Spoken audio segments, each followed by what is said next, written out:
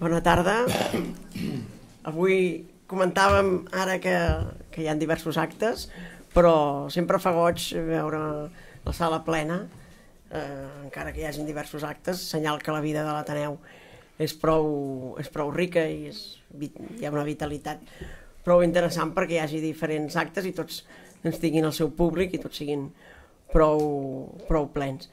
Realment eh, estem a punt de posar el cartell de no hi ha entrades. Eh, eh, suposo que és eh, primer per al tema i sobretot també per al nivell i l'estima que, que teniu eh, els intervinents. És una taula de, de molt nivell per parlar d'un tema que crec que està molt relacionat amb l'Ateneu, perquè si hi ha una institució en aquesta ciutat que a part de, evidentment de l'Institut Francès i, del, i de l'Escola Francesa, etc, que hagi representat aquesta relació, aquesta influència, eh, generalment sempre en positiu, sempre des de la francofília i la, i la, i francesament en aquesta ciutat, doncs com us deia, és l'Ateneu barcelonès. Només cal pujar a la biblioteca i comprovar doncs, els títols els títols que hi han eh, fins al moment, sempre històricament, sempre ha sigut una biblioteca que ha mirat molt a França, gent com en Josep Pla o Josep Maria de Sagarra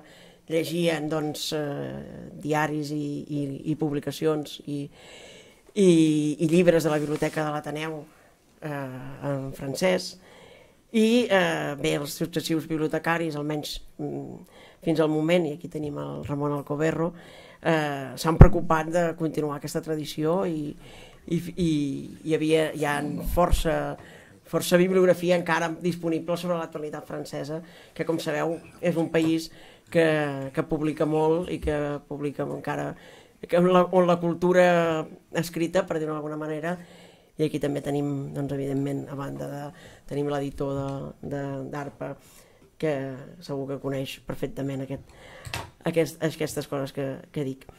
Uh, la conversa doncs, girarà al voltant d'aquest llibre uh, que tenim sobre la taula, de la breu història de França, explicada als catalans, influències, friccions i garrotades del veí de dalt, que Xavier Fabrés, que presideix doncs, la taula d'avui, i que és un, un bon coneixedor, eh, primer per això que diu que ja comença el llibre explicant que a casa seva havia sentit aquesta expressió de si el timbaler del Bruc, doncs, en comptes de tocar el timbal hagués tocat una altra cosa, ara serien francesos.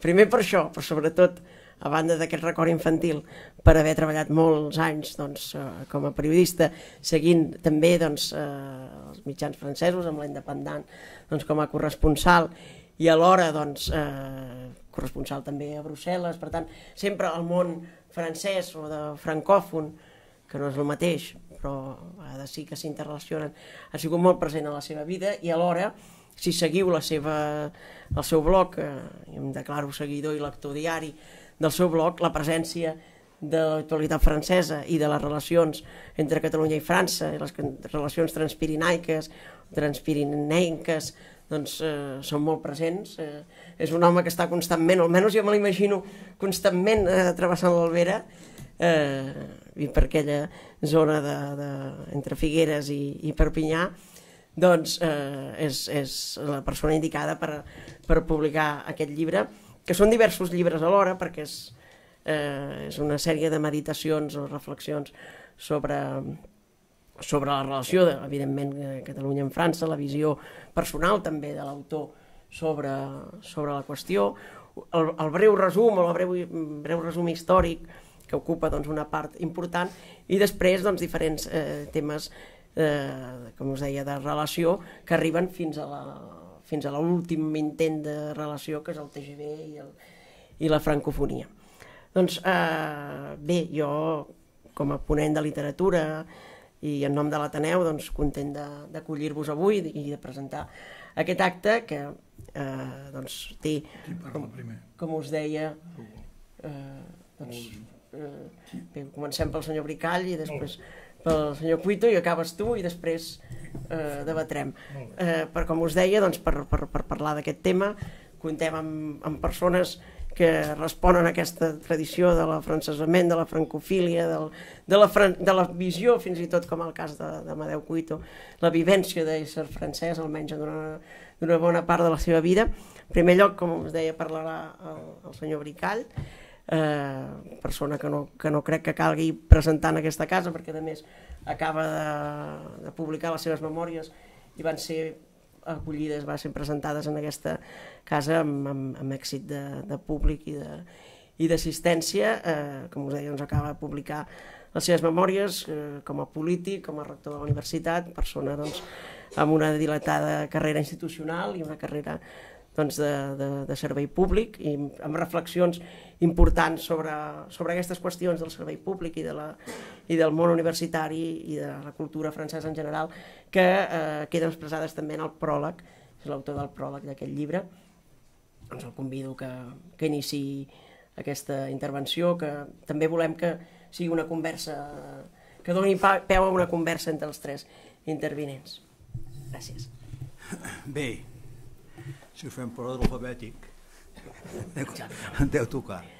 Um, ara, quan érem a la porta, l'Amadeu em deia que aquesta és una conversa que ara fem i que la vam començar, ell diu fa 10 anys, jo més ja optava per 5, però és possible que em faci 15. Llavors, eh, en, aquesta, en aquesta conversa inicial, eh, en Xavier ens va dir que potser valdria la pena fer alguna llibre o una publicació o un debat, no sé exactament què, entorn de, de França i la influència que ha tingut França aquí. Eh, se m'acaba de dir que sóc francòfil, absolutament, absolutament. Sort n'en tenim d'això. Jo sempre penso que la millor benedicció que, ten, que, que, que, que he tingut d'haver nascut aquí és que estic a la vora de França.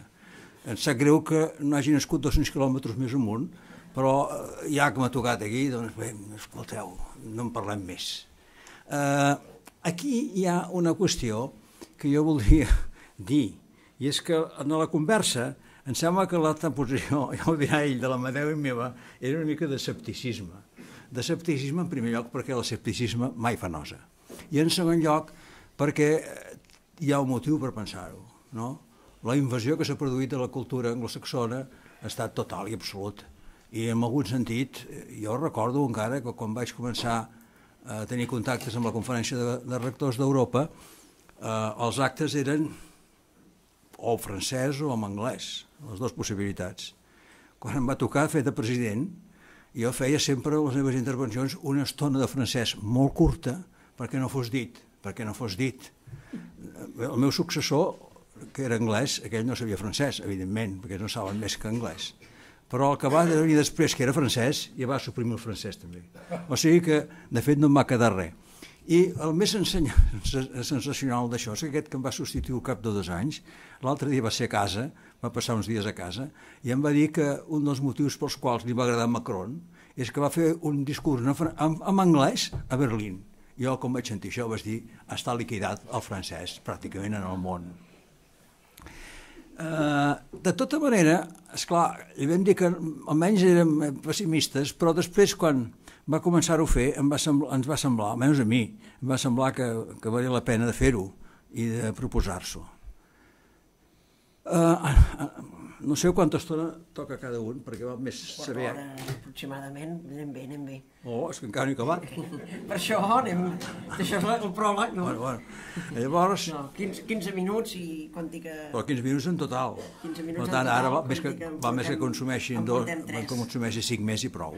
Llavors, a mi em sembla que el llibre, el llibre que he fet eh, té una estructura que a mi em, em, em mereix molt respecte Comença amb l'anècdota aquesta de, que va passar en el Bruc durant aquell període de, de l'arribada la, de dels francesos a, a, aquí a Catalunya, eh, però després d'haver estat la marca, la marca aquesta, la marca hispànica, que és la que es retreu durant una temporada, es retreia sempre la marca hispànica en qualsevol cantonada.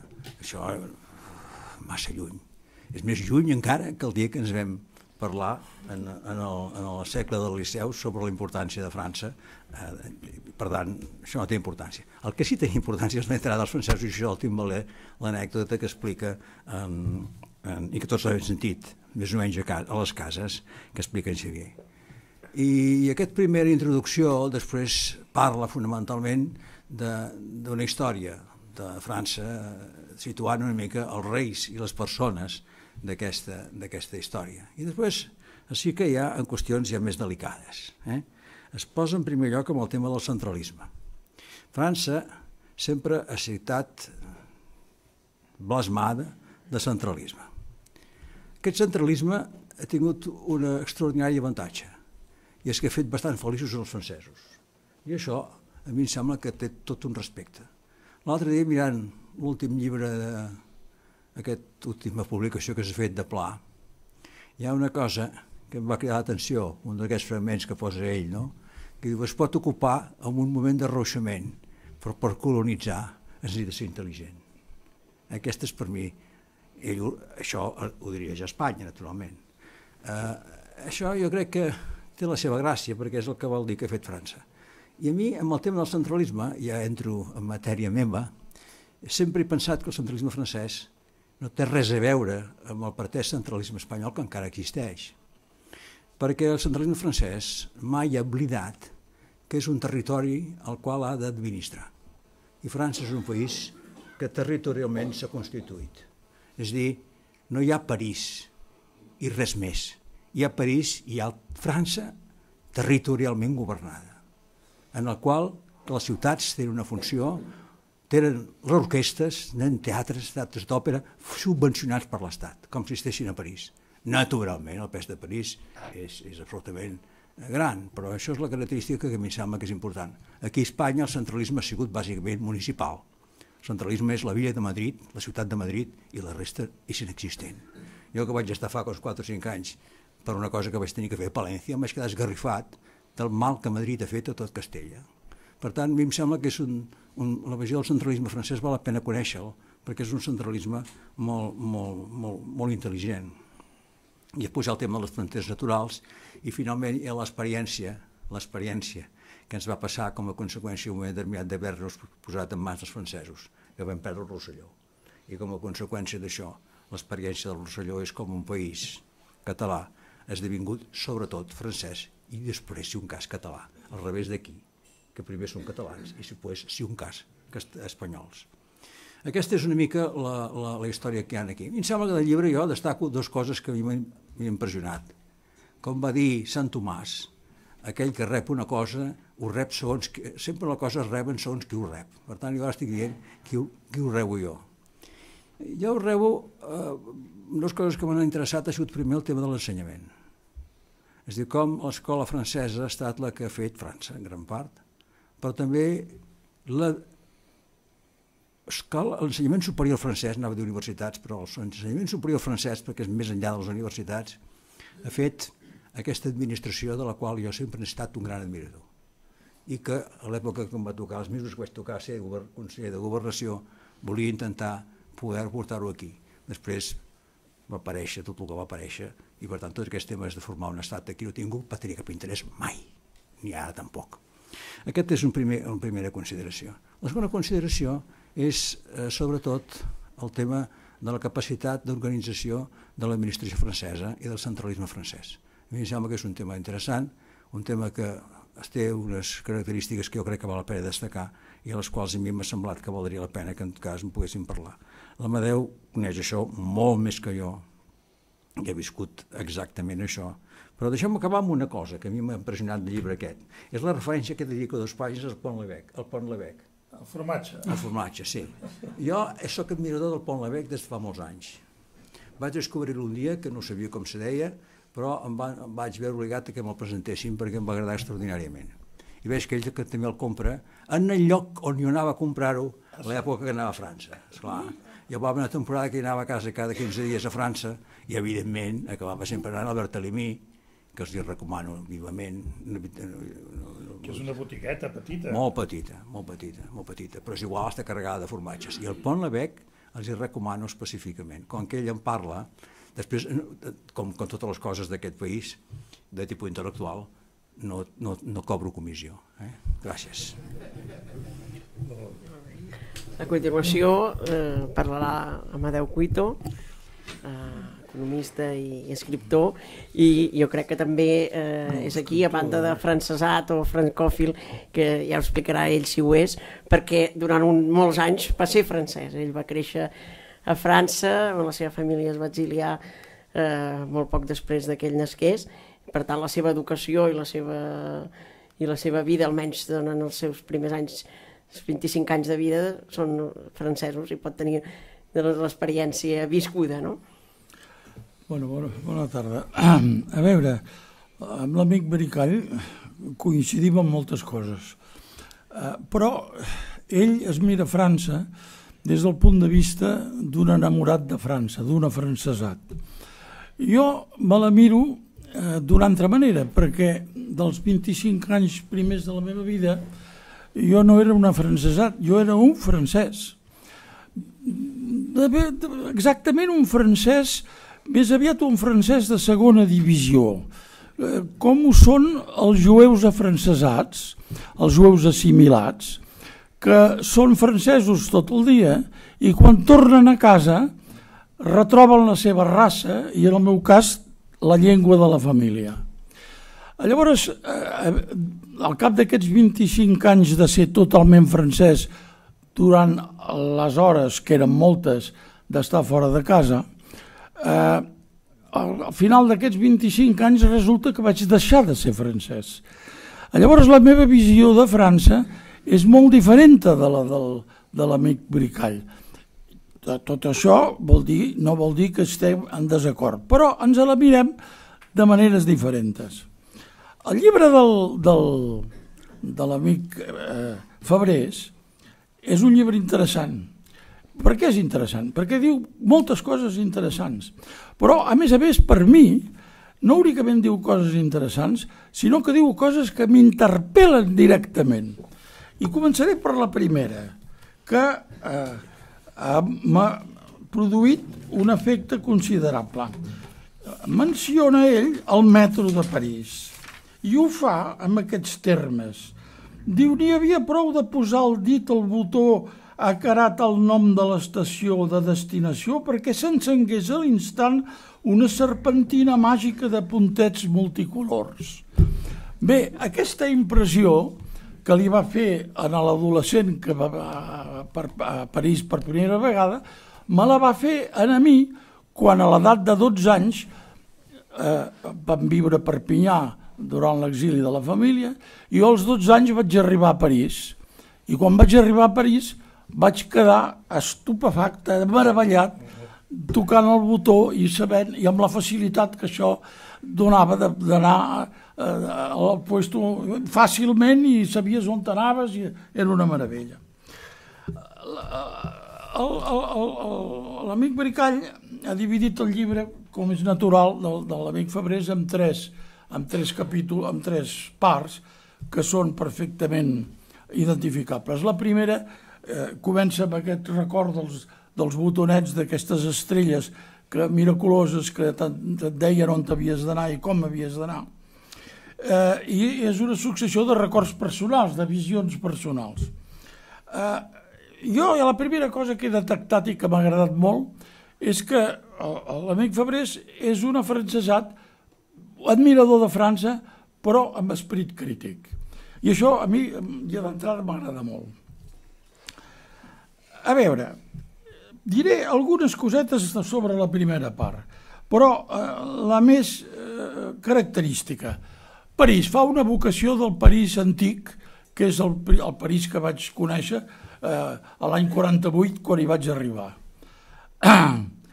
Aquest París ha desaparegut Avui aquest París s'ha constituït en una metròpoli, una metròpoli gegantina i la primera cosa que fa observar l'amic Fabrés és aquests famos, aquestes famoses banlieues que ocupen pràcticament bueno, el 80% de la població de, de l'àrea metropolitana són unes banlieues que no tenen res a veure amb el París mític que tots, eh, que tots hem somiat i que tots ens recordem. I això que jo vaig a París sovint per tornar a veure els amics, perquè hi he viscut durant molts anys i he estudiat. I, eh, això m'ha agradat, i m'ha agradat molt. Després fa una vocació d'una cosa que és la grandeur.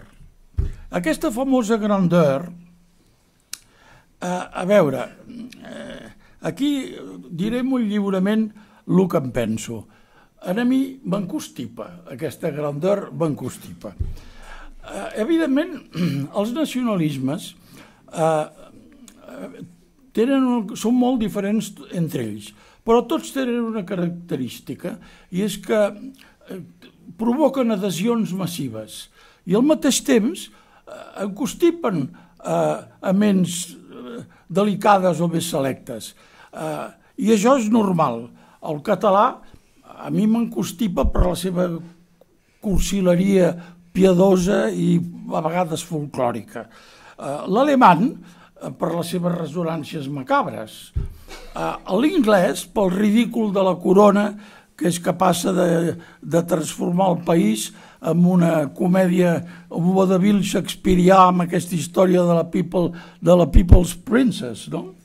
Eh, I el francès, ja que anem a parlar de la grandeur, el francès té una característica especial que és la que m'encostipa a, a, a, mi, i és que no he parlat de l'espanyol per no, per no provocar cap polèmica, però posats a dir el, ve, el veig com carpetó borbònic i, i popolachero. Però, a part això, el francès no desmereix els altres, perquè té una component de pompositat insufrible i, a més, té una característica molt singular, és el seu militarisme. I l'amic Fabrés eh, eh, titula un dels, dels capítols eh, eh, sobre Napoleó eh, com és el... Encara es pren per Napoleó. Ah, Napoleó encara es pren per Napoleó. I tots els presidents de França, d'alguna manera, sempre es prenen per Napoleó. Ho dic perquè el Napoleó és realment l'inventor d'aquest nacionalisme. I, i, I això que era un caporal corsa que no parlava, que no, que no parlava eh, el francès o el parlava molt malament. Bé, i això eh, té, té els seus successors, perquè eh, eh, i el seu successor és el, el nostre admirat de Gol, que de pompós, ara, pompós però que sabia escriure i escrivia molt bé, tot s'ha de dir. Els francesos generalment escrivien molt bé, ara no crec que escrivi, escriguin tan bé. Eh, una altra cosa, sobre el, el, el, el, el, la segona part. La segona part del llibre és una recapitulació eh, de, de la història de França. Eh, en aquesta recapitulació L'amic Febrés posa de manifest una cosa que m'ha interessat moltíssim i que crec molt acertada, de que això de França va començar sent, no, no se sap ben bé quan va començar a ser França, i era com una nebulosa de, de, de pobles diferents i tot això estava aglomerat amb... però la, la idea de França és una cosa que ha sortit molt al final de la història de França.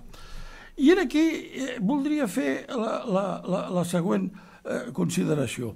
Jo sí que crec que a França, a veure, hi ha una consciència nacional. El nacionalisme és un fenomen, és un fenomen eh, del segle, de finals del segle XVIII i del segle XIX. Però abans, a França, eh, crec que, malgrat aquesta diversitat de, de lingüística, eh, ètnica, de cultural, eh, etc que fa pensar que això no era realment un país fabricat i constituït, de totes maneres, de totes maneres, té una cosa que és impressionant. A veure, tots els reis de França, i els tinc apuntats, 270 anys de merovingis, començant pel Clovis. 236 anys de, de, de, de, de carolingis. 341 anys de capets. 261 anys de Valois i 203 anys de Borbons. Bé, doncs durant tots aquests anys, tots els reis, un darrere de l'altre, van ser consagrats a la catedral de Rennes. Vull dir que, poca broma. Això què vol dir? Que hi ha una èlit, una classe dirigent al voltant del rei, que sap perfectament que el rei és consagrat a la catedral de Reims i és o pretén ser el rei de tot el país. A més, hi ha un llibre eh, en el qual no sé si es, fa, si has fet al·lusió del nostre admirat Marc Bloch, que és un historiador del, de la famosa escola dels anals, com tots sabeu. El fundador. Eh? El fundador. El fundador, exacte. El Marc Bloch té un llibre extraordinari que se'n diu Els reis traumaturgs i explica, eh, fil per randa i en detall, que una de les característiques del rei era que quan anava a un poble, la cort no, no estava a París, eh, corria la cort, però tenia una característica, és que curava els, els escrofolosos, els malalts, a base de, de tocar-los amb la mà. Això vol dir que la gent acudia a, a, a, al rei perquè els curessin. I això, d'alguna manera, havia d'anar fabricant una certa consciència nacional. I probablement aquest fet singular d'aquesta successió de reis, sempre una darrere l'altra consagrats a la catedral de Rennes, és ja l'origen d'aquest centralisme del qual parla l'amic Bricall, que l'admira i que jo en sóc radicalment contrari. Però això és un altre tema. A veure, després hi ha un altre aspecte, que és l'últim, sobre el centralisme francès. Ja sé que l'amic eh, Bricall és un admirador del centralisme francès i del sistema educatiu francès. La veritat, jo no ho sóc. Potser perquè sóc un producte de l'educació francesa. Jo no l'he vist de fora, l'he vist de dintre. Jo sóc un producte del, del, de l'educació francesa. I llavors, eh, a veure, jo recordo que quan vaig arribar a Perpinyà, perquè vam haver de fugir de París quan hi entraven els alemans, el juny del 40, i van fer allò d'aquell èxode de tots cap a, cap, a, cap a fora, cap a Perpinyà, eh, vaig arribar a Perpinyà i em van posar eh, jo tenia 4 anys, dos anys amb un parvulari.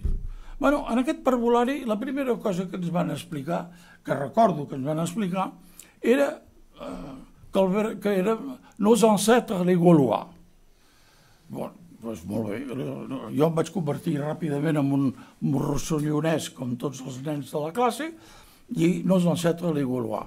I que, evidentment, el cap d'aquests ancestres era el Vercingetorix que havia resistit heroicament a les legions romanes que volien apoderar-se del país.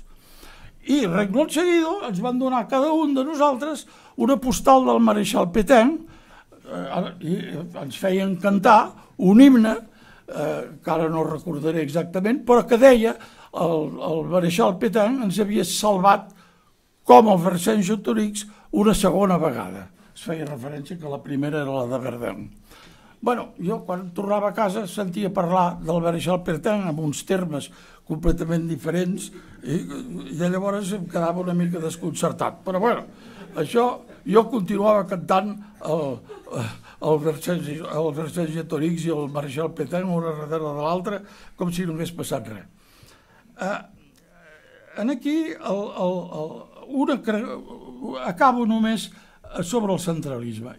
Sobre l'educació el professor Bricall la coneix molt millor i la pot, pot fer una cosa que jo no puc fer, que és comparar-la amb altres sistemes educatius. Jo, mm, com que no sóc un producte exclusivament francès, doncs no la puc comparar amb cap altre sistema perquè no, no hi he entrat en cap altre sistema. Però sobre el centralisme voldria dir una cosa que em sembla molt característica. El centralisme eh, potser sí que és un invent anterior, però realment és un invent versallesc. I no versallesc exclusivament, és un invent de Lluís XIV, que fa una cosa realment extraordinària, que és que retira tota la cort i tota l'administració fora de París construeix un palau i en allà monta l'administració i la cort. És a dir, tota aquesta eh, matoleia de, de, patoleia de, de, de gent que el segueix i que administra els seus ministres, tot això, els obliga a viure a fora de París, vol dir sense contacte amb la població, a dintre d'un recinte, i en allà comença a organitzar l'administració que, que indigna, evidentment, el Sant Simón, que diu com és, eh, eh, el rei comença a anomenar plebeios d'administradors, això no pot ser, això ha de correspondre als títols nobiliaris, què és això? Però el rei no en fa cas i el que vol són gent que obeeix i gent eh, que té en allà i que no es mou d'allà. Aquest és realment l'origen que després ha estat imitat pels russos, pels, pels austríacs, per tothom però realment el que inventa aquest centralisme és després el que el converteix en el que admira l'amic eh, Bricall, que és, el, que és realment l'administració del territori, aquest és el Napoleó, és el Corsa, és el, és el petit caporal que ens ho inventa, això. bueno, jo voldria acabar amb, amb, sobre, sobre l'aspecte de, la, de la cultura francesa, la, de l'educació francesa. A veure, jo quan vaig arribar a, a, al final dels estudis, tenia l'impressió de que havia estat sotmès a un discurs oficial, un discurs oficial que tenia unes característiques molt precises i una idea de França molt precisa, que potser no corresponia a la realitat o que a mi, a mi em semblava que no corresponia a la realitat. Però era com un que és propi de tots els països que són producte d'una revolució i que intenten formalitzar aquesta... Eh, eh, ara sento els espanyols que parlen de sobirania nacional. Els francesos que saben més de formular aquestes coses parlen de valor republicana, de la república. És més simpàtic, no? Perquè la sobirania nacional sempre fa pensar és la sobirania d'una nació contra les altres, que és el que va intentar fer el Napoleó. Però dic això perquè aquest, aquest, aquesta sensació d'ofec i de poca llibertat d'esperit, de poca crítica respecte al discurs oficial, jo és una de les raons per les quals, com em vaig anar a viure a Amèrica, perquè a França aquest sistema educatiu no em permetia ser abogat, no em permetia ser funcionari, no em permetia ser professor i per tant em vaig haver de guanyar la vida, que me la vaig guanyar d'Amèrica de fent de viatjant i per tant eh, no tinc les qualificacions necessàries per, per poder realment comparar els sistemes o, la, o, la, o el valor intrínsec de l'educació francesa. Però sí que vaig reaccionar contra aquest discurs oficial i un dels que m'hi va fer reaccionar, i això és mèrit també de la, del sistema educatiu francès, va ser el senyor Ramon Aron, que recordo que amb, un, amb un, uns cursos que donava la Sorbona eh, ens va fer una comparació entre Tocqueville i Marx. I, i ens vam quedar tots tots estupefactes de veure que es podia posar el Marx al costat del Tocqueville.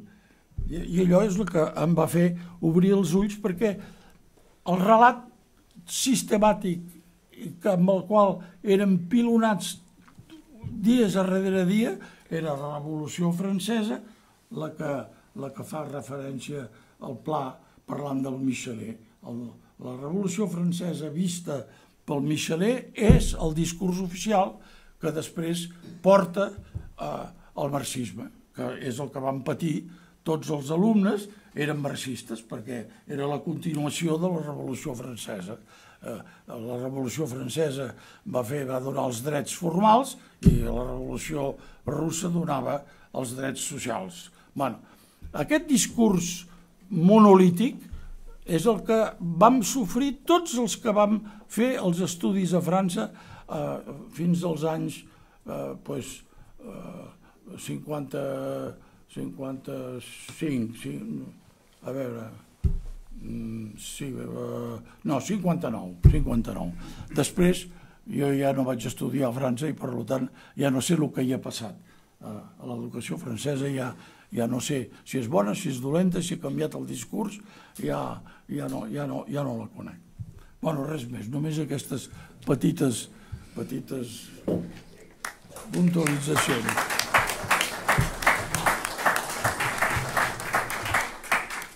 I ara l'autor. Eh? Bueno, com podeu veure, el debat ja ha començat, no? Però bé, a mi com a autor, en primer lloc, em toca donar moltes gràcies, en primer lloc a tots vosaltres per omplir la sala. En segon lloc, a l'Ateneu per acollir-nos, en Joan Safont, en Ramon Alcoberro, que ha impulsat aquest acte, i jo en aquest moment també voldria tenir un record personal per la persona que va ser vicepresidenta d'aquesta casa durant molts anys i que ens ha deixat fa poc, que era la Patricia Gabancho. En tercer lloc, eh, moltes gràcies a l'editor, ARPA Editors de Joaquim Palau i Álvaro Palau acostumen a fer bé les coses, són uns grans professionals i els estic molt agraït. Eh, tot seguit, moltes gràcies a aquests presentadors de luxe.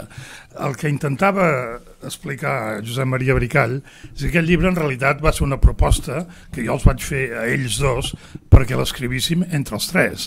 O sigui, un llibre a sis mans reproduint aquest debat que d'una manera embrionària s'ha començat a, produ a produir aquí. No? Ells naturalment em van dir que no eren tan productius com jo eh, per escrit i que no, no els atabalés i eh, no els hi va interessar. En canvi, els estic molt agraït perquè no només avui han fet la presentació, sinó que Josep Maria ha posat el pròleg i tots dos es van llegir el manuscrit i em van donar savis consells abans de donar-lo a l'editor. Uh, un cop dit tot, tot això, uh, escolteu, uh, França no és el mateix que parlar d'Alemanya o de Gran Bretanya o de, o dels Estats Units. A França és el nostre país, és el, país, és el país que està aquí al costat. Com jo dic en el llibre, és el nostre, perdó, és el nostre veí de replà. En segon lloc, una part de Catalunya, encara que sigui una petita part, petita però sensible i molt bonica, es troba a França, i després, en tercer lloc, és una gran potència, ho ha estat sempre, abans de la unificació alemanya, havia estat històricament el país més extens i més poblat d'Europa d'Europa Occidental, eh, no, no contem Rússia en aquest moment. Per tant, és un veí que per la seva, pel seu poder, per la seva potència, pel seu pes, és un veí emprenyador, senzillament. I també eh, molt instructiu. Llavors, eh, entre aquests dos pols del veí poderós i, per tant, dominant i el veí instructiu, doncs hi passa tota la història de Catalunya, des de nos ancêtres les Gaulois o nos ancêtres les Iber fins avui mateix. No? Eh, per tant, aquesta fricció o aquesta influència entre França i Catalunya és permanent i arriba fins avui mateix. I, I aquest és una mica el fil que he intentat seguir el llibre, barrejant-ho com sempre dintre del meu estil amb les meves apreciacions personals sobre el formatge Pont-l'Evêque i la millor botiga per comprar-lo a París o, o on sigui. No? També és cert que per motius professionals, eh, jo vaig ser corresponsal del diari perpinyanès L'Independent aquí a Barcelona, això m'obligava a anar cada setmana a Perpinyà, i no només això, sinó que això em va fer mm, entaular amistat amb molts col·legues i amics d'allà, i em va fer conèixer una mica eh, la França i particularment el Rosselló, la França catalana, des de dintre, des del dia a dia, no? i no des d'una opció prèvia ideològica que podem portar als catalans d'aquest cantó de la frontera. Això per mi va ser molt instructiu i em va situar entre mig d'aquest debat. No? Jo vaig observar una cosa que per un català peninsular, com en dic jo, per no dir català espanyol, eh, és absolutament incomprensible, que és que el centralisme pugui ser beneficiós això és, un, és una contradicció en els termes, per nosaltres. A França no ho és. A França està comprovadíssim que el centralisme pot ser beneficiós, és a dir, a canvi de laminar les llengües mm, autòctones, eh, que ells en diuen llengües regionals, a canvi de laminar les identitats que no siguin la francesa, a canvi de, la, de laminar moltes coses, ells et donaran una cultura de prestigi, una llengua de prestigi, una formació i una economia que et permetrà mm, eh, portar una vida mm, normal i satisfactòria. Aquesta contradicció de que el, el centralisme a ultrança, que és el centralisme borbònic, i, a veure, deixem-me fer un incís. Nosaltres de vegades no ens adonem de, de, de, de la importància que sobretot durant els segles XV, XVI, XVII, XVIII ha tingut França, per no remuntar més amunt, perquè més amunt remuntaríem a la batalla de Moret i els intents de la corona d'Aragó de expandir-se i projectar-se cap a la seva expansió natural, que era el sud de França. No? En algun moment, per casament amb Blanca de Provença, va arribar fins a l'actual Itàlia. No? Això seria remuntar molt amunt, tot i que seria molt, molt interessant aquesta política d'aliances i per què, per què es perd. No? Eh, eh, quan eh, l'Amadeu feia tota aquesta llista de reis, s'oblidava de dir que eren reis de la meitat nord de França. Mm? Eren reis de la meitat nord de França, la meitat sud de França. D'un tros de França d'un tros de l'illa de França. Sí, sí, sí. I poca cosa més. La meitat sud de França, fins molt tard, fins a la croada contra els càtars, eren uns comtats del comte de Tolosa, del comte de Montpellier, del comte de Narbona, etc. Com Catalunya no era Catalunya, sinó que era el comtat de Barcelona i els seus comtats aliats. No? Això ens portaria molt amunt, tot i que també seria interessant, sobretot per un historiador medievalista. No? Però en, en, en els segles de més cap aquí, eh, la gent no s'adona, per exemple, que Felip V, de trista memòria, era el net del rei Sol, que als 17 anys, va ser, que després d'haver estat criat, nascut i criat a Versalles, va ser proclamat rei d'Espanya a Versalles. Mm? amb la guerra conseqüent amb el candidat austriacista, amb el candidat de la, de la Casa d'Àustria, etc. Però bé, aquest noi de 17 anys criat, nascut, criat i coronat a Versalles, va ser el famós Felip V del decret de nova planta. I a més a més el primer Borbó d'Espanya. No? Amb la diferència que allà, el, eh, després de Lluís XIV, doncs el net de Lluís XIV, com tots sabeu, Lluís XVI eh, va ser guillotinat eh, per una revolució impulsada per una il·lustració que inspiraria totes les democràcies occidentals i en canvi Espanya doncs, no, no, com salta a la vista no van ser guillotinats. Eh, la influència de França, començant per aquí, i podríem seguir en moltes coses, no? però jo l'he volgut eh, fer arribar fins avui. Eh, al capdavall jo sóc periodista, a part d'escriptor, i a mi m'interessa l'actualitat i m'interessa explicar les coses des d'un punt de vista del que passa ara. No? Llavors, jo l'últim capítol el dedico a l'oportunitat malaguanyada de l'euroregió Pirineus-Mediterrània.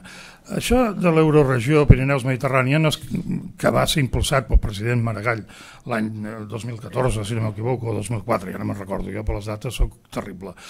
Eh, no, no, no és un invent de ningú.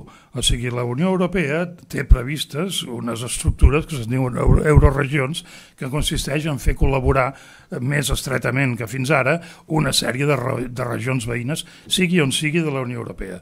Aquesta gran oportunitat, en un moment en què després dels Jocs Olímpics del 92, des de Toulouse fins a Montpellier, eh, fins a Narbona, Carcassona i Perpinyà, veien amb admiració Barcelona i trobaven que l'alcalde olímpic i el després president de la Generalitat era tan simpàtic, en aquell moment era perfectament possible i allò que és donat la dimensió um, europea que Barcelona i Catalunya necessiten dintre de, del context de la Unió Europea i era perfectament possible en aquell moment i es va deixar morir de la manera més miserable del món a canvi d'altres opcions de resultat més incert encara.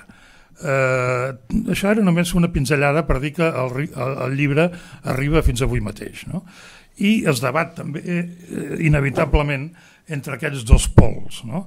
O sigui, l'admiració dels que durant el franquisme eh, arribàvem amb molta fortuna a París i ens deixàvem enlluernar entre altres coses perquè no havíem vist mai el món per un forat, i els metros d'aquí no tenien aquestes pantalles eh, tàctils eh, de botonets multicolors, i després eh, eh la persona que s'ha criat allà, l'han criada allà, i s'ha donat des de dintre que aquest sistema escolar, que certament té una importància granítica, una importància absolutament crucial, bueno, has viscut des de dintre potser no és tan admirable. També és veritat que ja et puc assegurar que des dels anys 50 el sistema escolar francès mm, ha evolucionat. No? Eh, aquests, aquesta contradicció en els termes del centralisme beneficiós també s'aplica al, mm, al mecanisme cultural. No? Finalment, algú ha dit aquí abans de començar que nosaltres som afrancesats crítics, afrancesats de, de pensament lliure, no? que diem el que ens agrada i el que no ens agrada. Jo crec que aquest sistema escolar, que és la pedra fonamental, jo tinc molts amics encara mm, que es diuen Martinès o és igual, o, o Matamoros, que es continuen declarant jo sóc fill o filla de l'Ecol de la República, o sigui que es reconeixen que gràcies a aquest sistema escolar que després es va permetre a la universitat, etc, doncs eh, bé, van poder tenir una formació. Però el que volia dir en aquest moment, que a part de, de, de la, del retrat que n'ha fet l'Amadeu, doncs que aquest sistema escolar també s'ha mostrat capaç d'evolucionar, no? i això jo n'he tingut una experiència recent, entrevistava el director de, de l'escola primària del Portús, que en realitat que sap molt bé el Joan Armanguer que corre per aquí, és més aviat l'escola primària de la Junquera, perquè hi ha més alumnes de la Junquera que del Portús. Però com que és una escola francesa pagada per la República Francesa, jo entrevistava el seu director, que és un noi de Perpinyà, tan català com tots nosaltres, però que va voler que l'entrevista es fes en francès perquè ell representava l'Ecol de la República i amb ell el pagava la República. I, i llavors eh, eh bueno, vam fer l'entrevista, molt bé, després un cop acabada l'entrevista vam parlar en català, però el que volia explicar no és això. Dic, escolta'm, aquí feu des de, des de fa molts anys l'ensenyament bilingüe, eh, català-francès, autoritzat i subvencionat pel Ministeri Francès d'Educació, o sigui, no és una iniciativa local, no, no, no, no, és una iniciativa avalada i rubricada pel Ministeri Francès d'Educació que la paga. I em va dir, diu, no, no, diu, no només aquí, diu, tot l'ensenyament primari es pot fer al Liceu de Seret en català. Dic, bueno, tu m'estàs dient que es poden fer classes de català al Liceu de Seret. Diu, no, no, no, et torno a dir que es pot fer tot l'ensenyament primari al Liceu de Seret en català. Bueno, era només per dir que aquest sistema escolar... També és veritat eh, que eh, les coses sempre, totes les monedes tenen sempre dues cares i possiblement això que ell afirmava i, i que és, sens dubte és cert a propòsit de Seret ja no seria tan cert si anem a una gran ciutat com Perpinyà. No? Eh, Seret no deixa de ser una vila així, diguem-ne, de, de, de frontera, no? en fil de garnison. Mm? I, però no, no, només era per dir que eh, tots els clichés, tant els admiratius com els més escèptics, de vegades s'han de sotmetre a l'actualitat perquè en el, alguns països, no tots, alguns països evolucionen. I mm, jo que encara em fascina deixar-me caure de tant en tant per París, observo aquesta evolució de les coses. No? Sobretot, eh, Josep Maria Bricall posava l'accent en el sistema d'ensenyament, però no és només el sistema d'ensenyament. Jo dedico un capítol, per exemple, a la cultura francesa, o sigui, per què és el país que roda més pel·lícules de tota Europa i que ven més entrades de cinema de tota Europa. Bé, doncs perquè hi ha un sistema fiscal que ho fomenta. No? Eh, tot això ens portaria molt lluny i no cal dir eh, els llibres, etc.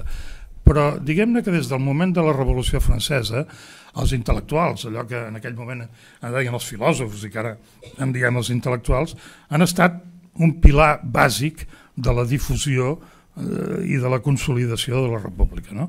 Llavors, jo dic en el llibre, per exemple, que els, els intel·lectuals a França tenen una presència pública eh, més àmplia que tots els altres països europeus on acostumen a estar més limitats els seus cercles habituals, ja siguin a la universitat o determinades revistes o determinades entitats com aquesta. A França tu pots engegar la televisió i veure un debat eh, de, de, de gran altura. No? Bueno, M'he enrotllat molt, m'he deixat moltes coses al tinter i ara que, que tanqui el Joan Safont que per això no, representa no, l'Ateneu. Jo no, no, no, ah, no crec eh? que s'hagi de tancar, jo crec que s'ha de continuar debatent perquè això s'ha presentat en un format de debat o de conversa i jo crec que han quedat, eh, han quedat temes perquè També... debatim, debateu... Eh, els, els estalviaré la primera pregunta. Eh? A totes les presentacions que faig surt la primera persona i em pregunta ens hauria convingut més ser francesos? I ja els hi estalvio. No cal que me la facin perquè la contesta és sí. Jo vull precisar, si puc, deixes, jo vull precisar en relació als dos temes que he tocat i després t'hi referit tu, i és el tema de l'administració i el tema de l'escola. Eh? Uh, sobre el tema de l'administració, no crec que aquesta, que aquesta idea que jo entenc per centralisme la vulgui fer dependre de Lluís XIV. Jo entenc que el centralisme francès es fa sobretot amb la Tercera República, de la manera que jo l'entenc. És a dir, és la Tercera República. Per cert, jo, això és una cosa molt curiosa perquè aquesta idea... Jo me recordo que una vegada quan estava a, a, a França, quan vegada aquí he estat, sempre deia aquí el que no ha fet Napoleó no ho ha fet de Gaulle perquè sempre una de les dues institucions, de les dues persones havien fet les decisions, havien pres les decisions. En realitat, si miraves una mica, te n'adonaves que la part més important de la vida política francesa i de la societat en gran part és obra de la Tercera i de la Quarta República. I la Tercera i la Quarta República són règims en els quals el president de la República ningú sabia qui era. Més aviat deien Le Plivet, que em sembla que s'havia fet en una elecció. Qui serà el president de la pròxima República? El president de la República, Le Plivet, serà el que elegirem. Llavors, a mi em sembla que aquesta idea de França centralista eh, vol dir França amb una administració que és capaç de regir un territori d'una manera relativament eficient. I és evident que quan aquí s'ha discutit molt de temps el que en deien les estructures d'estat, estructures d'estat que ningú sabia exactament què volia dir, ni els que ho deien, segur que sobretot els que, no, els que ho deien, és que bàsicament les estructures d'estat són dos conceptes fonamentals. En primer lloc, l'estructura jurídica és d'un sistema de lleis i en segon lloc, una administració, una administració pública. I aquest, això és una estructura d'estat, més o menys autònom, més o menys independent, això és l'estructura bàsica. I aquestes peces bàsiques a França, s'han produït de forma poc o molt centralitzada. I aquesta forma centralitzada, o en definitiva la supressió de les, de les regions en aquell moment, va molt unida moltes vegades a la idea de fer un règim, els valors republicans, al qual et referies tu, igual per tots, valors republicans, ah, valors. iguals per tot, per tot França. Per tant, a mi aquesta és la idea bàsica que a mi em sembla interessant, que és la idea de l'administració. Ara, aquesta administració pot ser diferent, és evident que pot ser diferent, L'avantatge que hi ha en França és que aquesta administració ha estat una administració que no ha tancat sobre un propi un únic municipi, que és el cas d'Espanya, sobre Madrid, sinó que ha estat una administració que ha estat capaç de desenrotllar-la tot el territori. Quan, per exemple, es diu això és l'Òpera Nacional de Marsella, a França vol dir que és una òpera subvencionada per l'estat francès, a Marsella. Això és incomprensible a Espanya si no és a Madrid. Si quan es diu, per exemple, hi ha un quadre important d'un determinat pintor, si aquest museu el tenen a Nissa, això anirà a Nissa, no s'anirà a París. Eh, aquesta idea, per mi, de l'administració d'un territori, és per mi és una idea interessant. I al mateix temps, l'existència d'administració més o menys eficaç, que data ja, poso un exemple, el cas d'Inalco, aquest cas que hi ha concretament d'una escola de, de, de, de, de, de llengües estrangeres que crea, que crea la República Francesa en el seu començament eh, crea en el moment previ al propi Napoleó. Per què? Perquè vol crear els administradors. I a mi em sembla que aquesta és la idea que jo crec Perquè que és interessant. ocupar Egipte. Mm, sí, però mira, intel·ligentment. Eh? També es pot ocupar el Marroc de manera no intel·ligent. No? Doncs aquesta és una característica que, que, que, que, que és aquesta la diferència. No? A mi em sembla que això és interessant d'advertir-ho perquè l'administració es fa per, per resoldre serveis públics i si resols serveis públics, si saps que has de resoldre serveis públics, subvenciones els cines, o subvenciones els teatres, o subvenciones determinades coses, perquè un estat, si existeix, té com a funció fonamental subvencionar. intel·ligentment, que tornem a trobar el mateix problema. Per mi aquesta és la idea en la qual jo podria basar-me al parlar de la centralisme. És evident, no se m'acudiria perquè un sistema de centralisme, o, oh, bueno, no sé, un sistema d'aquest situat a la península o a Espanya, diguem les coses sense hipocresia, què, què, significa, què significaria o què significat. El que passa és que aquí, com tothom sap, no hi ha francesos, per tant, deixem-ho córrer. Sobre el tema de l'ensenyament, aquest és un tema que a mi m'ha interessat.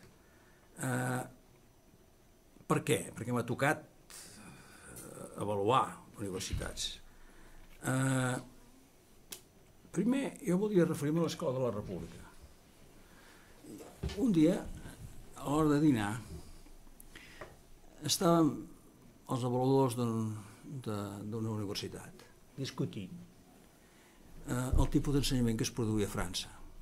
I una cosa que m'ha quedat l'atenció és la creació d'unes institucions o d'un sistema d'orientació dels, dels alumnes per tal que poguessin arribar als nivells més elevats, als nivells més elevats de l'ensenyament, tot i que fossin de classe treballadora. Mm. I això ja es feia des de l'escola. I m'estaven explicant, i ho explicaven entre ells, no m'ho explicaven a mi, ho explicaven entre ells, i a mi m'ha costat entendre-ho perquè no sabia el sistema de funcionament, perquè no parlaven d'universitats, però parlaven de les escoles. Deia, i moltes vegades això ho fèiem per evitar que s'anessin a les escoles catòliques, les escoles cristianes, perquè en definitiva el que interessava era una escola laica, que era el fonament de la, de la República Francesa. Des d'aquest punt de vista, és clar, aquest plantejament és tan diferent del plantejament que ens ha tocat viure aquí. Jo, i anat als jesuïtes i en sóc més aviat poc crític d'ells en aquests moments, però he de dir que el sistema aquest no és un sistema que em sembli correcte si és que realment es vol crear una institució que organitzi l'ensenyament a tota una comunitat. Aquest és un primer punt. Però hi ha una segona qüestió que voldria dir, i és que inclús l'ensenyament superior a França, i això és una de les crítiques que s'han fet en aquests moments a l'ensenyament superior francès, és un ensenyament dividit entre les universitats i les no universitats, les escoles. I les escoles que moltes vegades tenen més prestigi que les universitats es feien fonamentalment per un motiu que és per fer els ministeris, per subministrar els ministeris als funcionaris adequats. Una cosa que em crida l'atenció a mi és que hi ha hagut dos països a Europa que han tingut un sistema universitaris molt semblant, la Unió Soviètica i França. La Unió Soviètica i França tenien dos sistemes idèntics perquè es tractava de preparar els funcionaris dels ministeris. De manera que quan van arribar, quan van arribar eh, el, el, el, va acabar el taló de zer famós, va resultar que un dels èxits de les rectors en aquells anys era agrupar de nou aquelles eh, facultats que es després de la universitat com a conseqüència d'aquesta eh, escissió que s'havia produït en el passat. Les facultats de Medicina es consideraven preparaven funcionaris del Ministeri de Sanitat. Les facultats de, d'Agricultura o de Tecnicultura feien bàsicament preparació del Ministeri d'Agricultura i així successivament. I això a França encara passa en alguns aspectes, que per exemple les escoles d'arquitectura no depenien, fins, no sé si ara en aquest instant, però almenys fa dos anys, no depenien del Ministeri d'Educació, depenien del Ministeri de Belles Arts. I les escoles de, de, de, de, de bueno, l'escola de la Politécnica de Ministeri de Defensa. De, de, de Ministeri de Defensa. Per tant, aquesta, aquesta escissió que hi ha en l'ensenyament superior és un ensenyament, una, una escissió que s'ha tingut crítica. Un, de, un últim aspecte, perdoneu, és el no ancêtre Gaulois, perquè és objecte d'una d'una d'un dia, d'una conversa que vaig tenir un cop a París eh, no sé què vaig dir, dic, home, és que això que els digueu als estudiants negritos que els acaben d'arribar, no és el centre de Gaulois, em sembla com a mínim grotesc per aquests negritos que acaben d'arribar, etc. I em va dir, ah, no senyor, això és fonamental. I era un home profundament liberal i d'esquerres, el que vulguin dir-li, no? Diu, això és molt normal, perquè aquests senyors no són francesos, més que perquè estan formats a França i tindran els valors republicans. No pel fet on han nascut i evidentment no és un centre de Gaulois, és el símbol de tot això? És el símbol de tot això. Eh, des d'aquest punt de vista, respon una mica el que dius tu de Manuel Valls. A Manuel Valls, l'escola francesa i el nascut a França, li ha permès ser francès sense haver-hi nascut. Eh? Bé, aquesta és una mica una observació que volia dir per si no, no, no, havia, no havia expressat com correctament. I és en aquest sentit que jo doncs, tinc una certa admiració, perquè, perquè com català mancat d'estat, eh, l'enveja que té quan un estat funciona correctament és molt elevada. I el que fa més por és quan s'intenten fer les coses de manera que el que pugui sortir-ne encara serà pitjor del que possiblement podíem haver aconseguit, inclús amb els estatuts. Aquesta és una mica la meva observació. És un problema d'enveja, si tu vols, d'alguna forma. Permetem que digui una... Celebro que em donguis la raó sobre un punt crucial sobre el sistema educatiu quan has dit una cosa que la crec i tu ho saps amb coneixement de causa, cosa que jo no la sé, però ara l'has dit, i que confirma el que crec, és que has comparat dos sistemes educatius semblants, el soviètic sí. i el francès. Sí, sí. Ja està tot explicat. Per mi ja està tot explicat. I llavors la reacció que tinc contra el sistema educatiu francès és perquè és soviètic. Llavors, llavors deixeu-me... L'únic soviètic. Eh? Ara és l'únic soviètic. Bueno, eh, exactament. Però aquí hem de distingir, jo crec, coses que no són exactament les mateixes. Una cosa és l'administració d'un territori i, evidentment, això implica una certa centralització. Això és una cosa en la qual els francesos, amb una administració portada per una gent reclutada per formar i, i ser executius de l'administració, això ha provocat uns resultats determinats. Una altra cosa és el sistema educatiu. A Anglaterra, això ho, ho explicava molt bé el Nicolau, el Nicolau d'Olver, em refereixo, eh, ha tingut un sistema de reclutar les èlites diferent d'Anglaterra, però que ha produït el mateix resultat. És a dir, eh, si tu no vas a Eton i a Cambridge i no tens una graduació, no seràs primer ministre, no seràs ministre, i no, no. I el, si no has passat per l'Escola Nacional d'Administració i has sortit amb un... Va, va, no comparis. És absolutament comparable. Vull dir, l'administració anglesa surt d'un sistema que recluta unes èlites que no té res a veure amb el, amb el sistema francès, però que el resultat és el mateix. Després, referent-se en el, en, el, en, el, en el sistema educatiu francès, sense dubte que el, el, les, els valors republicans han tingut una enorme, una enorme, no únicament eficàcia, sinó que han sigut, han deixat, han permès l'escola gratuïta per tots els nens i obligatòria, ha sigut una cosa que ha produït uns resultats molt importants i que la gent que eh, no tenia mitjans d'educació perquè eren pobres han pogut accedir a, a, a, a formar part d'èlite si era un sistema de tipus eh, eh, dur, tot això està perfecte. Però, a veure, que aquest sistema ha funcionat bé. Jo cada vegada que vaig a França obro el diari, compro el Monde, i llegeixo que el govern està preparant una nova reforma de l'ensenyament. I penso, què passa? Aquí no era absolutament exemplar aquesta... Algo deu passar que no els hi funciona. Això, això és excessiu. Això, sí, sí, sí, sí. no sé el que passa a França avui en dia, però que el sistema centralista, ho has dit molt bé, eh, el va instituir ni el Napoleó ni, ni, ni, ni Versalles realment són els, els, els funcionaris de la Tercera República, el famós Jules Ferry, que es va inventar aquest sistema de els valors republicans aplicats en l'ensenyament. Escola laica, obligatòria i gratuïta. I això ha produït bon, uns resultats determinats. A veure, en benefici de molta gent, però també amb un, amb un passiu amb un passiu evident que és el que eh, obliga a la gent a seguir un patró eh, oficial, eh, en el qual hi ha un discurs oficial, que és el que, del qual no pot sortir. I, i, i, i ja s'ha ja tot, tot explicat. Vull dir, falta llibertat de criteri. Eh, per exemple, eh, la, els intel·lectuals.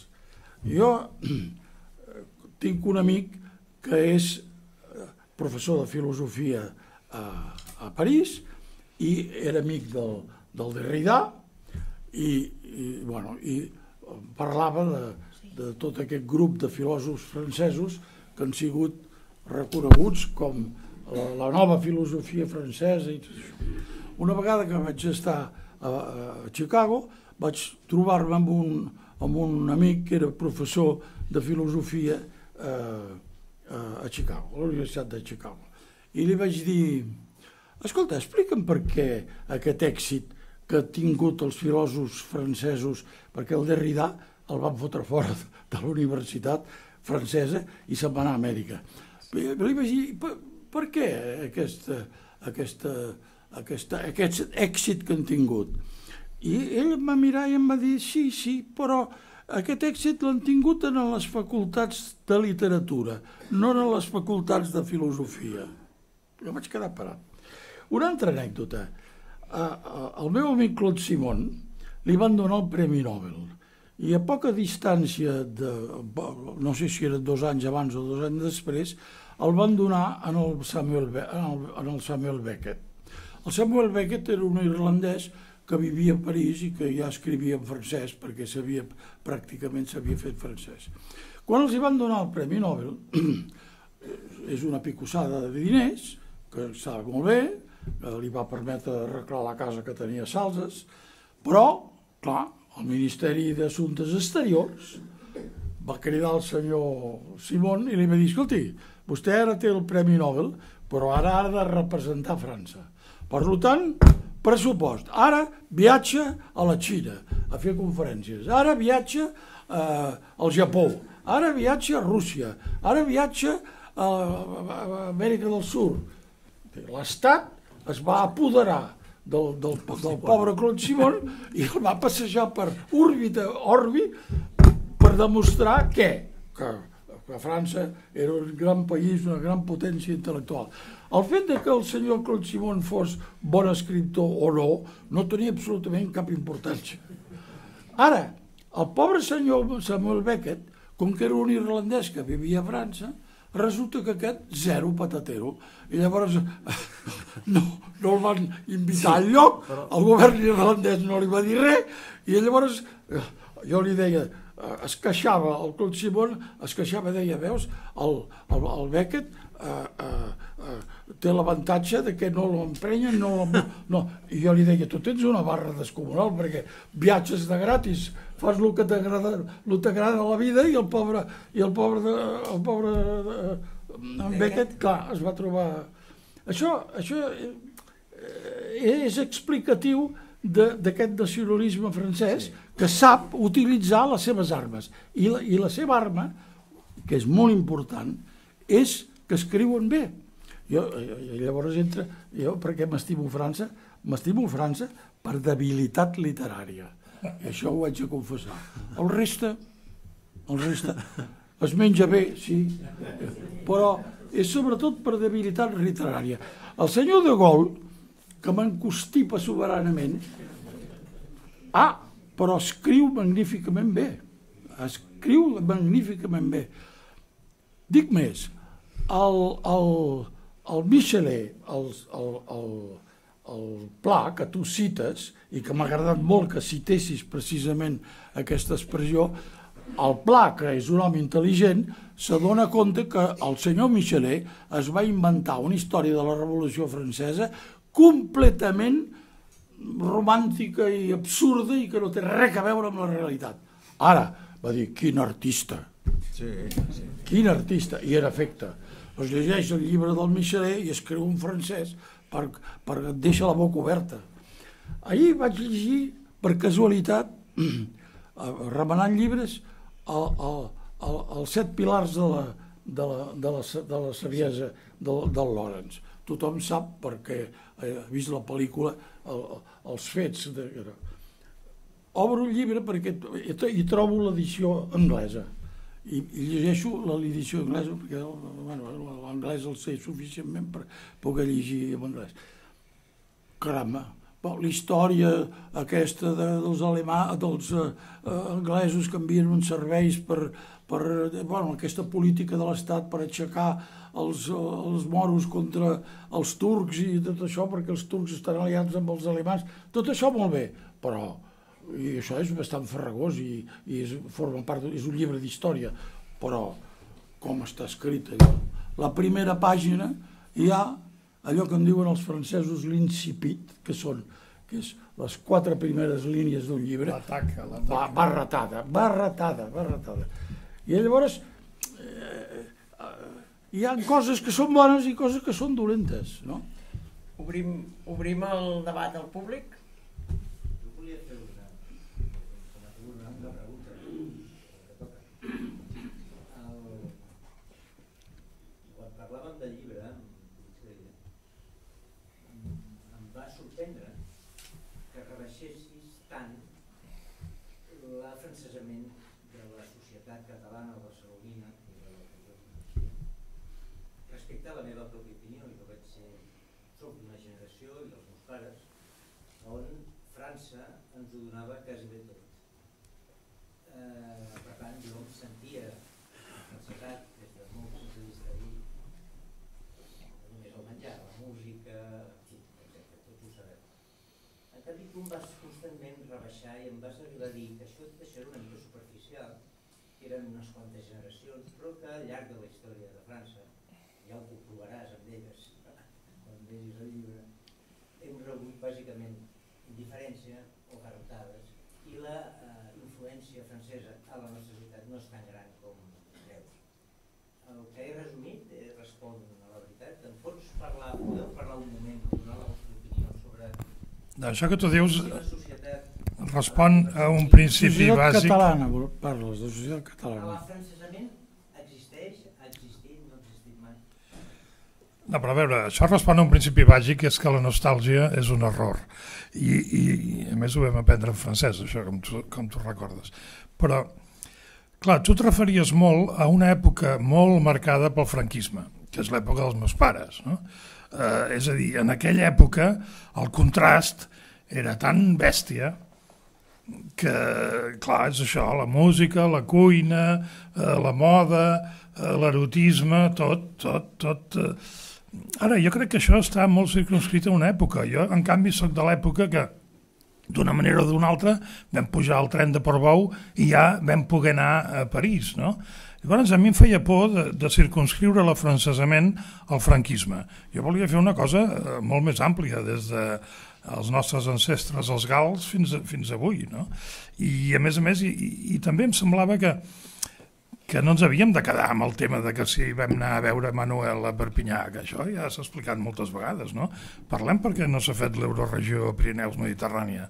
És a dir, jo no volia que, que, que l'anècdota tapés eh, el que em semblava molt més històric i molt més important. No?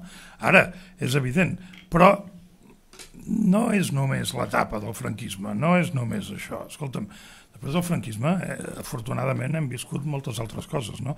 Els meus pares, sí, els meus pares, que, els nostres pares que van viure una guerra i de quina manera, home, esclar, eh, per força havien de tenir una percepció idíl·lica i ideal de França, no?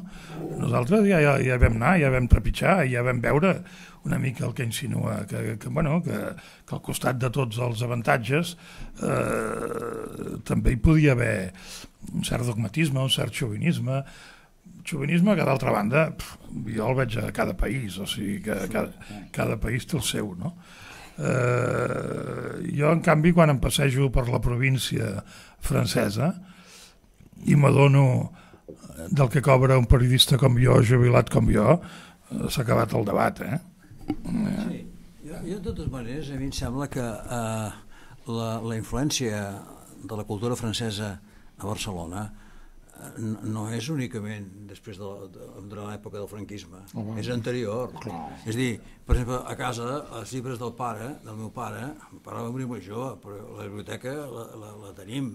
La biblioteca, els llibres, meitat dels llibres eren en francès, en francès, l'altra meitat en català, i després hi havia, no, esclar, si dic una meitat en francès i la meitat en català ja no queda lloc pels altres. Doncs, però sí, no, era, no arribava ni un ni l'altre, llavors hi ha uns quants en castellà, naturalment, però el, el pes fort de la literatura no catalana és el, el francès, i això és evident. I a mi em sembla que això es produeix a partir del, segle XIX, perquè jo he pogut... 1878. Ara, per la situació en França, les, les, les, normalment es costuma... Hi ha, hi, ha, hi, ha, hi, ha, hi ha un període que aquest país no estudia gaire, que és el període que va des de, de la Guerra dels Segadors fins, fins a la Renaixença, per dir-ho així. No? Ara en Marfany ha fet, eh, els llibres que ha fet, eh, això ho aclareix una mica, perquè ja era hora, no?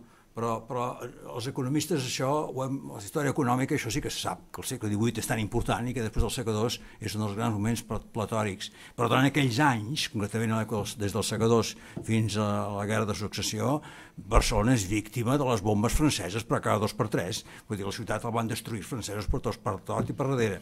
I això va fer que quan els, els que senyors que sabien, entenien d'economia, diuen no, no, l'aliança l'hem de fer amb Holanda i la Gran Bretanya, eh, aquests hi havia un, un, un caldo de cultiu, que es diu en català, que, que, que, que, que preparava una activitat francesa molt forta. No? Jo, jo volia dir una cosa que, que, que em fa pensar que el, ara pensant en la literatura francesa i amb el bé que és, que, és que aquest famós centralisme lingüístic, perquè ara no parlo del centralisme administratiu, sinó respecte a l'ensenyament, aquesta liquidació de les llengües eh, eh, regionals o de les llengües que existien, perquè hem de recordar que eh, el provençalisme eh, bueno, el Dante també escrivia en un idioma que era molt pròxim al que, que s'escrivien aquí, o que s'escrivia el famós llemosí. Vull dir que aquí hi van haver dos factors, un que hi has fet referència a, que és les lleis Jules Ferry, que realment eliminen directament la, les llengües que es parlaven i que eren majoritàries. El francès francès el parlava no sé, el 20% de la població, tots els altos, el bretó, l'occità, tothom parlava les llengües que, que es parlava allà on, on fos. Ara bé, eh, si hi ha una cosa que és veritat, és que el resultat el resultat d'aquest centralisme i de la liquidació, no sé si un és causa de l'altre, però deixen una llengua amb la qual els francesos en fan un instrument poderosíssim, que és eh, la seva literatura. És a dir, a, a veure, eh, el francès de, del Montaigne, o del Rabelais, o del Racine, o del Proust, clar, eh, aquest francès, qui se l'ha inventat? Se l'ha inventat la centralització? Potser sí. Se l'ha inventat la concentració en un sol idioma per arribar a, a purificar-lo. Hi, hi ha una cosa del, del, del Conrad, el Conrad, com sabeu, era polonès, i d'una família rica de Polònia, i què va fer? El van enviar a estudiar a França, perquè a casa del Conrad parlaven en francès, eren uns polonesos educats i parlaven en francès, i el van enviar a l'escola marítima de Toulon i, bueno, i després es va embarcar a Anglaterra, va, va fer la vida a Anglaterra i va començar a escriure novel·les en anglès. I un dia li van preguntar, escolti, però vostè que és d'educació francesa, que parlava de francès a casa amb els seus pares, i, per què ha escollit l'anglès? I va dir una, una resposta que és boníssima, vaig trobar boníssima, va dir, bueno, és que el francès és una llengua massa cristal·lina. bueno, s'explica molt bé aquesta, aquest poliment de la llengua que, que ha donat els resultats que, que, que hi són, perquè uh, uh, la gent escriu bé i escriu bé, no tothom escriu bé, però ha donat exemples de, de grans que això és el que ha afrancesat. I parlant dels afrancesats, jo no sé res dels afrancesats a Catalunya però sé l'afrancesament del meu pare. El meu pare va ser torner a la Renault l'any 14 per pagar-se els seus estudis. I llavors es reclamava mà d'obra perquè els, els francesos joves estaven al front eh, i va aprendre francès. Però després va venir aquí, va fer estudis d'enginyer, bueno, ja, ja està. I, ja, I no sé, va conservar la llengua francesa que va aprendre a París, però no, no era necessàriament una frasedat. Ara bé, quan eh, vam anar exilats, en allò, llavors es va convertir en un afrancesat de força. I l'altre dia mirava, que hi vull intentar fer-ho, la biblioteca francesa del meu pare. No crec que hi hagi una biblioteca francesa d'un francesat igual que el del meu pare. És un senyor que es va voler integrar o va voler entrar a fons en la història francesa i no hi ha els llibres d'història. Però, per exemple, hi ha les memòries de Saint-Simon. Dius, home, qualsevol afrancesat compra-les. Ah, però al costat hi han sis volums de les memòries del marquès de Dangó.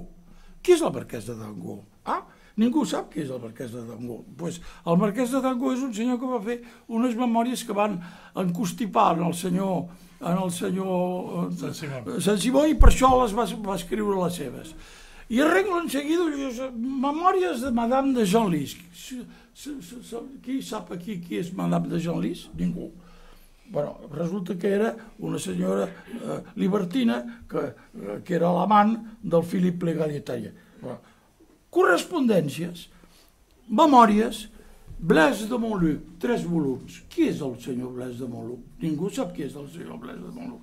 És a dir, el meu pare és un senyor que va entrar en la cultura francesa i en la història de França a través dels llibres d'històries, però a través de les memòries, les correspondències, és a dir, es va, va entrar dintre realment. Això per què ho va fer? Perquè no podia fer res més que llegir. No tenia permís de treball, tenia un permís de residència que només durava tres mesos, estava... I va dir, què faig jo aquí? Només puc fer una cosa, que és fer el que no he fet fins ara, que és llegir. Com que estava a França i, li, i els, els llibres havia, que tenia havien quedat a, a, a, Barcelona, doncs es va dedicar a convertir-se en un afrancesat. El que va passar aquí, no ho sé, no, no en tinc eh, absolutament cap idea, però quan llegeixo el pla, m'adono compte que el pla és un afrancesat des de, de la infància. M'imagino que per debilitat literària es converteix en un amant de la literatura francesa i això es nota inclús en la manera com escriu. Es nota amb la, manera, la precisió amb la qual És veritat que la, la, la penya gran de l'Ateneu, la penya Borrelleres, era molt afrancesada i per això Josep Pla, l'any 15 o 18, no me'n recordo quin any, ja he dit que per les dates soc molt dolent, l'envien de corresponsal a París pel diari La Publicitat per influència de la penya de l'Ateneu. Ara, jo l'únic que vull dir és que la influència de l'Ateneu hi havia també il·lustres germanòfils. No, L'Eugeni d'Ors, en Margall. que dona... No? Que, sí, d'alguna manera el traduir, Maragall és anterior, però bueno, eh, segurament eren minoritaris, però també hi havia il·lustres germanòfils. El Segarra, si no recordo malament, Josep Maria Segarra havia estat corresponsal a Berlín, del diari El Sol de Madrid, no? És a dir... Però després de la guerra, eh? Ah. Després de la Primera Guerra Mundial. Els anys el 23-24. És evident que la, la francofília en els ambients culturals era majoritària, però també hi havia una, una germanofília i, i segurament Sí, també tenia... molt, jo que ho he, ho he treballat una mica molt menor, i sobretot hi ha una cosa, és que la presència cultural francesa en algun moment arriba a ser quasi bé colonial. O sigui, I saps per què? no només això, sinó la, els les, les grans empreses, la, la, la societat d'aigües, els tramvies, el no sé què, són de capital francès. La colònia estrangera més important de Barcelona és indubtablement francesa. Uh, tenen la capella francesa, tenen l'escola francesa, tenen el, tot el... S'articula, i la, la, la, la, tots els, els escriptors i tots els poetes no van a Madrid o Berlín, van a França, i per tant hi ha una qüestió natural que, que, que, que, que a vegades alguns, i això de colonialisme ho diuen alguns castellans, de dir, bueno, és que això, França és com si ho I, acabés... i, i l'escola Eh. Lesseps, quan s'origina? I què és? Era privada? Era Sí. subvencionada per qui? Bueno, és el sistema d'escoles... Però no era el liceu francès d'aquí, no? Això No. és, és després. És després. Primer va néixer aquesta escola privada de la colònia francesa, Finals del 19, que encara està a Gran Via, a Sicília, Això. Sí, sí. Final, finals del 19, penso que és així. però va ser abans que el Liceu francès. Posteriorment va néixer el Liceu El francès. Liceu és de Constantí del 20. El liceu francès és de l'estat francès. Sí.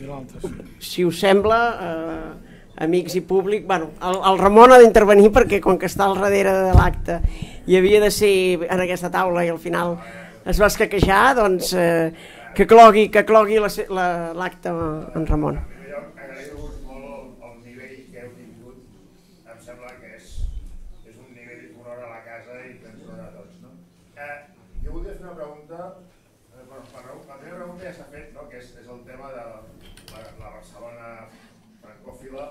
Eh, maig del 68. Aquest any serà el 50 any de maig del 68. Eh, jo volia preguntar, vosaltres que teniu una experiència, no, jo al 68 tenia 11 anys, no? Eh, eh, vosaltres teniu una experiència, diguéssim, cultural d'haver vist la, la França existencialista, la França prèvia, diguéssim, a, a, a, diguéssim, a, a tot el tema estructuralista. Jo, jo, clar, jo arribo a la universitat, quan ja els universitaris són estructuralistes, ja no són existencialistes. No? Eh, jo volia preguntar eh, el canvi que significa del 68 a la perspectiva dels que heu viscut, diguéssim, que teniu, per dic 60, vosaltres teniu uns, uns pocs més. Eh, Molts més. què, què, és, què és del 68 en la cultura francesa i què és del 68 al cap de 50 anys ara, perquè ara tornem a parlar d'aquest tema. Daniel Conventi anuncia pel mes que ve un llibre en, en què pensa analitzar, eh, autoanalitzar-se al cap de 50 anys de maig del 68. Eh, ara aquests dies sortia a la premsa francesa l'anunci de que el, el mes que ve surt un llibre de Conventi explicant o, o autoanalitzant maig del 68. Eh, maig del 68 per la gent que tenia una... per els que tenien 18 anys el dia que es va morir Franco, eh, significa moltes coses. I, I significa una França molt diferent a la França de Sartre, per entendre'ns. No? Eh, llavors, podria preguntar per maig del 68, que és un tema que em sembla que en el llibre, que, que per cert és magnífic i aprofito per recomanar-lo perquè ja l'he llegit dues vegades i l'he llegit al meu fill, ja que és el meu fill agrada, tota gràcia, el meu fill agrada molt més bo. Eh, llavors, doncs, eh, no, el fill clar, té 24 anys i per tant eh, aquest ho pot veure més bé. Eh, jo volia preguntar-vos per això, la França del maig del 68, la França abans i després de maig del 68. Com, Mira, maig 68, per resumir molt, són dues coses. Al final de De Gaulle, i això els golistes, això els golistes no li perdonaran mai el maig del 68, i en segon lloc, el maig del 68, per la meva generació, és la contestació. Aquesta paraula que abans no sabíem ben bé què era. És a dir, posar en qüestió, posar en dubte les jerarquies, eh, els, els, els principis apresos, o sigui, aquest gosar contestar, aquest gosar replantejar, segurament d'una manera, com fa sempre la joventut, molt impulsiva i molt superficial i tot el que tu vulguis, no? Però, per un cantó, políticament és el final del golisme i això mm, resumeixo molt, perquè al final del golisme volen dir moltes coses, eh? I, i després és aquest esperit de joventut de remetre en qüestió, de, de tornar a posar en qüestió eh, moltes coses. Llavors, pels que vam viure sent adolescents, eh, era com que ens donaven permís per ser contestataris. No? Jo, jo vaig viure el maig del 68 a París, perquè vivia... Bueno, tornava d'Amèrica, on treballa, jo treballava, ja no estudiava. I, i bueno, jo, amb tots els amics que havíem vam passar per la universitat, eh, tots teníem érem els diplomes d'economia, de, de, de dret, de, de, la, de la colla que érem, i francament, a mi personalment, hi ha un aspecte polític que és la crisi del poder personal, que va, es va produir un buit de poder, i en aquest buit de poder, evidentment, eh, quan es produeix un buit de poder, doncs l'ha d'ocupar algú. I el van, el van ocupar doncs, eh, els sindicats, el, el, el que sigui. I llavors, eh, els francesos, que tenen una especial habilitat per teatralitzar la seva, la seva vida, van organitzar com si allò fos una revolució. I que de revolució no era. Jo recordo que eh, durant el, el, el, els fets jo ens reuníem cada vespre en un restaurant i ens trobàvem a veure què havia passat. I jo demanava, quants morts? No, ni un. No, ni un. Un, sí, un, que va caure a l'aigua perquè... Ni un. I jo vaig dir, ah, això llavors no hi ha revolució. Ocupació de les fàbriques, eh, revolució, la revolució. Revolució? Ni una. I recordo que parlant amb el, amb el, amb el Josep Pallac em va dir, diu, això s'acabarà quan torni el de gol. ja ho veureu. I va tornar el de Gaulle i va dir, bon, la fête est finie. I, i brrr, es va enfonsar això i va tornar a guanyar les eleccions el de Gaulle.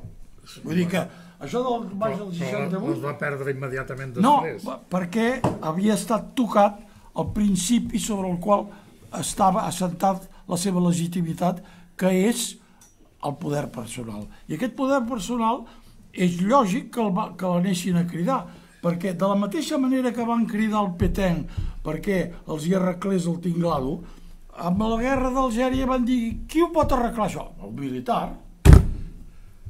Ja van anar a buscar el militar i el militar ho va resoldre. Militar que escrivia bé, com tu deies. Exactament. No, però em refereixo, ara, ara, és veritat, és veritat, això és l'aspecte polític del maig del 68, però és veritat que en la gent eh, que tenia, eh, a veure, 68, eh, que tenia 10 anys menys, i que el, el va viure aquest teatre, el va, va ser un dels personatges d'aquest teatre, encara somia amb aquest teatre, encara li agrada aquest teatre, encara viu del record d'aquest teatre, que va ser una funció esplèndida, perquè jo recordo que tenia una nòvia que era, que era eh, actriu de la comèdia francesa i que era filla, gràcies a l'educació francesa, era filla d'una noia que fregava el, el terra de la, de la telefònica, eh, o dels, de les PTTs, perquè la telefònica, eh, i que havia ascendit a, a ser eh, società, no, pensionnaire de la comèdia francesa. I llavors aquesta noia, que normalment, segons els seus orígens, hauria hagut de ser una revolucionària, anant amb cotxe al mig de les manifestacions, es posava un guant amb, dan- amb dantel, amb, amb, Amb randes. amb randa, i aixecava el puny. Això era, era l'explicació més, més perfecta del teatre que era, era allò. Sí, jo crec que... Jo el que no sé és la, el que fa referència als efectes que va tenir en el món del pensament. Home, suposo que sí, que és, que, que, que, és notable. Eh? En aquells moments eh, certs autors van deixar de tenir importància, altres es van tenir. Eh, No Sí. sé, llegir Le O Monde... Sartre. lle- Exactament, llegir El Monde ho veus. ho I l'Aron. quan tenen, Eh? De manera, No. de totes maneres, maig del 68 té un efecte fonamental sobre el sistema universitari francès. Eh? No, no parlo en termes únicament del que es fa, sinó de forma que, que s'organitza. És a dir, l'existència de... Hi ha una cosa curiosa, és que França tenia un sistema universitari sense, sense universitats ni rectors. És a dir, a França hi havia facultats, i prou. Llavors hi havia un senyor que deien rector nomenat pel govern, que tota aquella regió, que era una àrea més forta que no pas les regions actuals, aquest senyor manava tot, tot el sistema, tot el sistema d'ensenyament, inclòs la universitat del que li depenien les, les facultats. La universitat nova, per tant, apareix amb la llei Fort. La llei, les universitats franceses actuals són creació de la llei Fort, que ara justament s'està rectificant. Això per respecte al sistema universitari. I respecte al sistema el sistema, home, jo no, no era, no, tenia una mica més d'edat, bastanta més, i per tant ho vam viure aquí, jo estava a la universitat ja. Però aquí a la universitat jo crec que el canvi no el pot fer immediatament, però fa abans, cap als 60, com a, segona, la meitat dels 60 és quan tenen els, els, els, els problemes forts neixen a la universitat, i de fet el gran canvi a la universitat és una mica abans, és el pla d'estabilització, bàsicament, és dir, quan hi ha la crisi de, de govern. Bé, això sobre, sobre el punt aquest. Jo, de totes maneres, amb el tema del... Això, això que diria ara és, una, suport, una hipòtesi, però sempre he pensat que aquest final de Gaulle va molt unit en el problema del dòlar i la posició que va prendre De Gaulle en relació al dòlar. Això, jo, quan, tots els professors que vaig conèixer, els rectors que vaig conèixer a l'època que, que els tractava, tots eren gent del maig del 68. I quan els deia això, se'n quedaven parats mirant i deien no hi havia pensat. Bé, De Gaulle va fer aquells anys unes, unes, una política de defensa de l'or enfront del dòlar i de crítica molt forta en els dèficits americà, en el dèficit americà. I jo pensar que això deixava eh, tranquil els americans, no ho crec. I jo no voldria veure una relació de causa-efecte, però sí que voldria considerar que com a mínim aquest tema no és un tema trivial en aquell moment. Eh? Ja es pot seguir encara els discursos que fa. De Gaulle en té un discurs sobre, sobre el, sistema, el sistema dels països que tenen, no tenen no, no han d'estar sotmesos a regles com a conseqüència de que el sistema monetari, ells són el patró del sistema mundial, que és un atac brutal en el, en el, en el, en el dòlar, i al mateix temps diu, i jo he demanat al Banc de França que comenci una política de conversió de les, de les reserves en or. Eh? Aquesta, aquesta cosa no podia deixar diferent a Nixon, penso. Nixon és el que hi ha de president en aquell moment.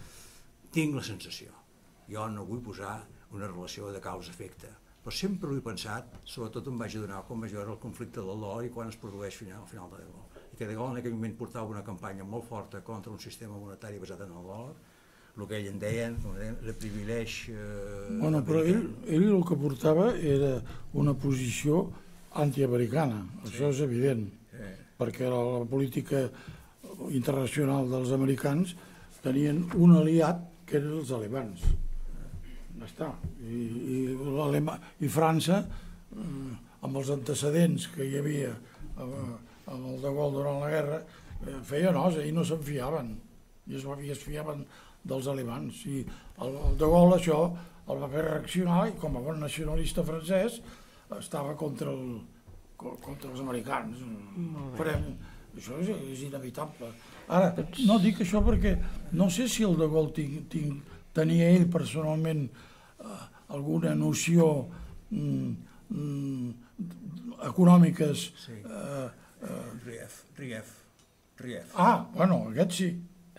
Aquest sí. El de Gaulle no sabia això del... Això. Ell, ell va aprendre, que passa que el tio, aquell, aquell discurs Va fa- agafar, va agafar la, la teoria del riu del riu per utilitzar-la políticament. Doncs si us sembla, eh, ho deixem aquí. Eh, moltes gràcies a tots per venir i els tres eh, membres de la taula que han fet una, un debat al voltant d'aquest llibre Breu història de França explicada als catalans que us recomano de molt nivell i molt interessant. Gràcies.